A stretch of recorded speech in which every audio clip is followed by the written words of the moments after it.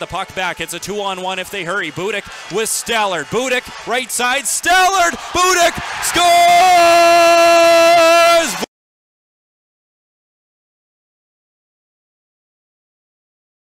Wojtek Budik, the overtime winner, and the Raiders win